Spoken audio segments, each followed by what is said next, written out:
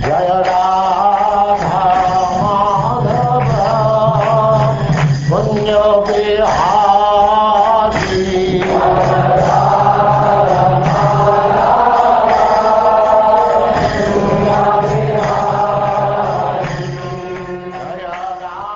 And now, Chapter 22 The Orbits of the Planets.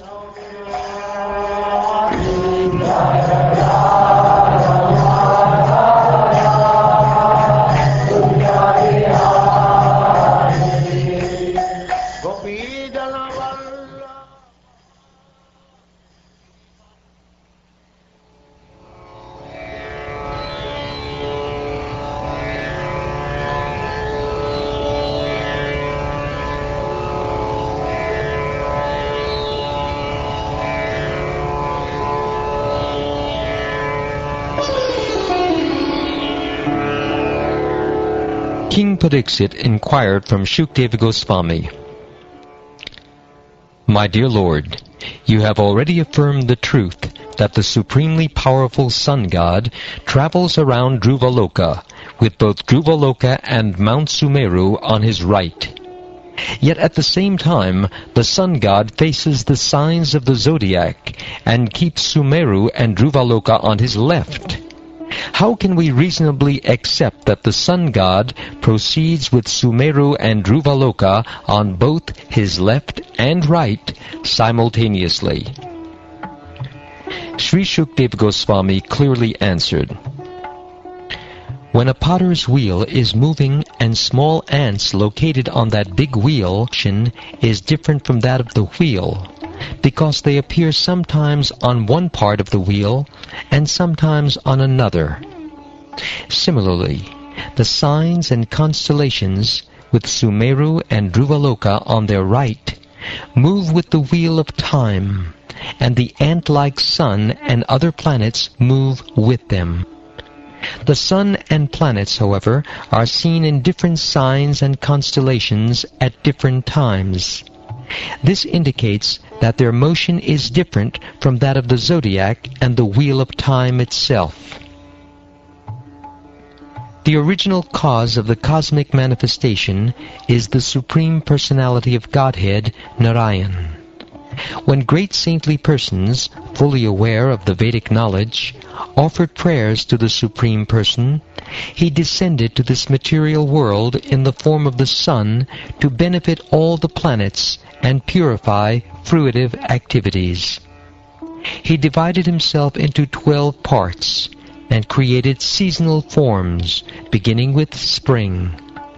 In this way he created the seasonal qualities such as heat, cold, and so on. According to the system of four varnas and four ashrams, people generally worship the Supreme Personality of Godhead, Narayan, who is situated as the sun god. With great faith, they worship the Supreme Personality as the Supersoul according to ritualistic ceremonies handed down in the three Vedas, such as Agnihotra and similar higher and lower fruitive acts, and according to the process of mystic yoga. In this way, they very easily attain the ultimate goal of life. The sun god, who is Narayan or Vishnu, the soul of all the worlds, is situated in outer space between the upper and lower portions of the universe.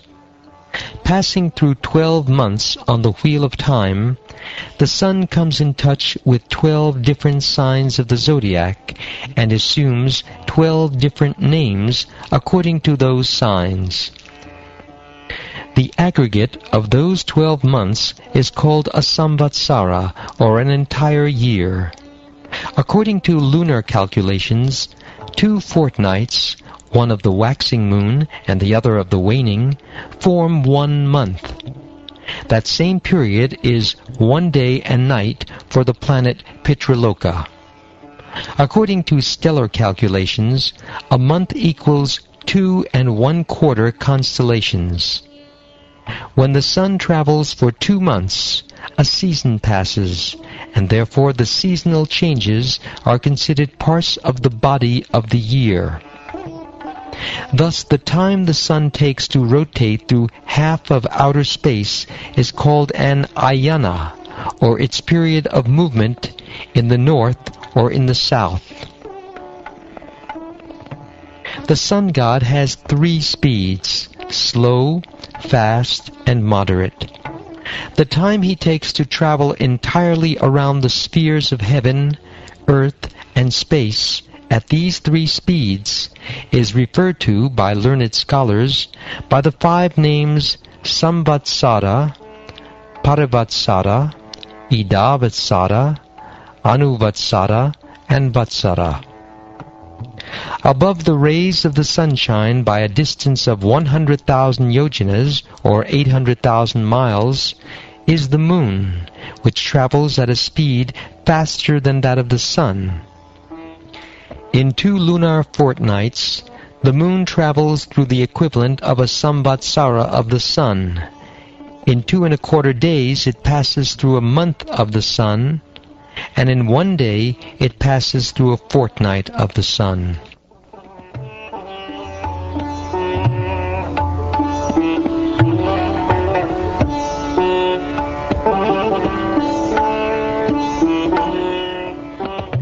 When the moon is waxing, the illuminating portions of it increase daily, thus creating day for the demigods and night for the pitas. When the moon is waning, however, it causes night for the demigods and day for the pitas. In this way, the moon passes through each constellation of stars in 30 muhurtas, or an entire day.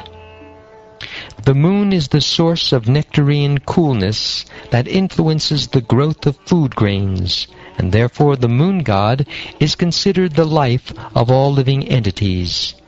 He is consequently called Jiva, the chief living being within the universe. Because the moon is full of all potentialities, it represents the influence of the Supreme Personality of Godhead. The moon is the predominating deity of everyone's mind, and therefore the moon god is called Manomaya.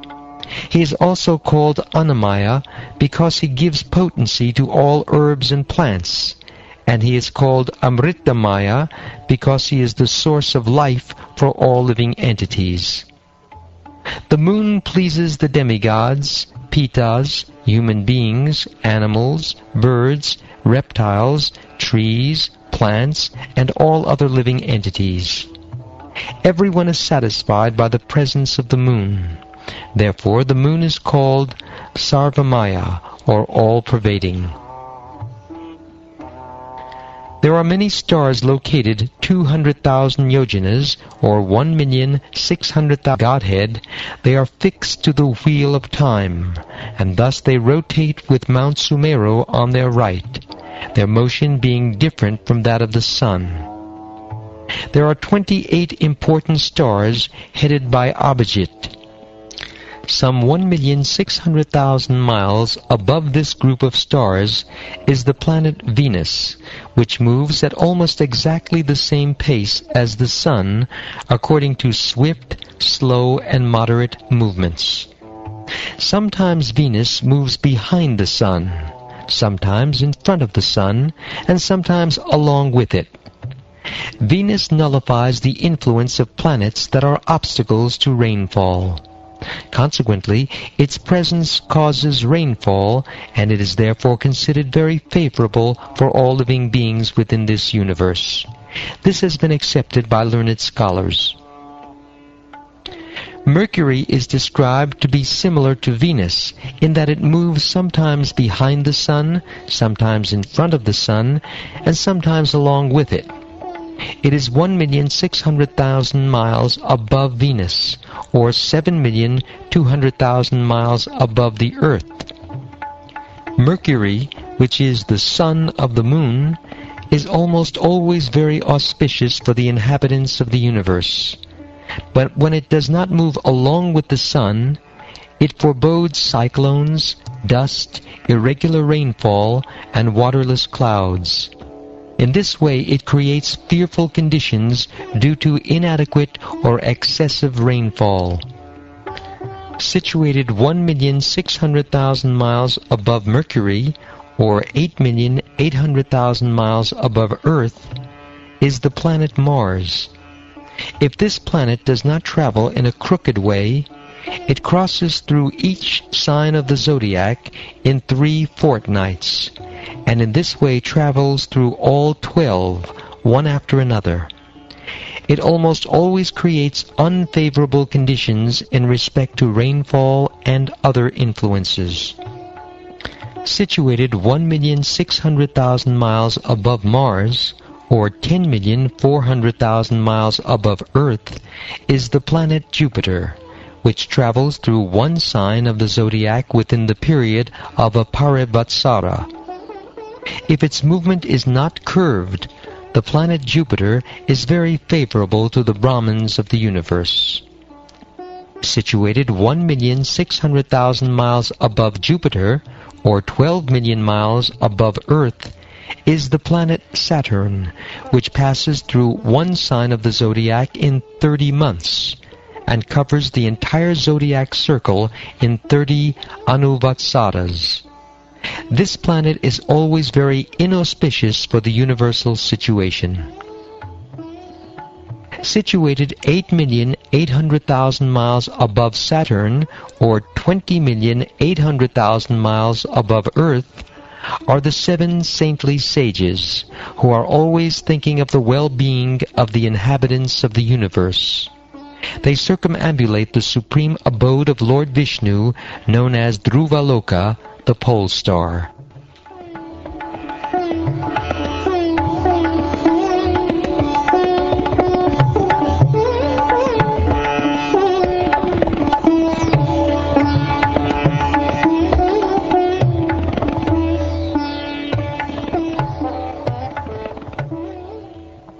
Thus ends the 22nd chapter of the fifth canto of the Srimad Bhagavatam, entitled The Orbits of the Planets.